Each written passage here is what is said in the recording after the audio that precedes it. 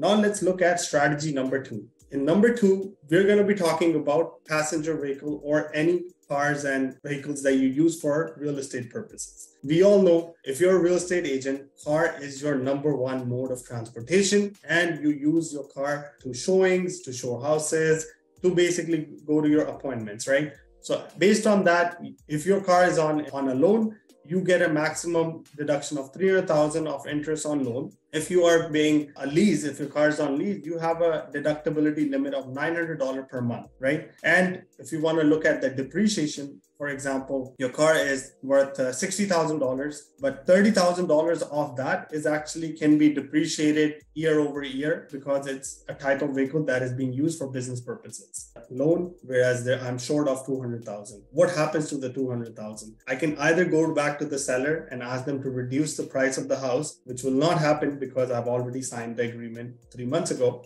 the second option is I can ask the vendor to loan me $200,000 for the shortfall. That $200,000 would technically be a vendor take back because the seller of the property is actually giving me a loan, which is the buyer, the lender for a second mortgage. So now when I close on the property, I'll have two mortgages. One will be the first mortgage of the 800,000. The second is the $200,000 mortgage, which is from the vendor. Each of them will have their own interest rate and each of them will basically help me close on the transaction. The seller sells the home faster. He's basically loaning me $200,000 to close out on the transaction.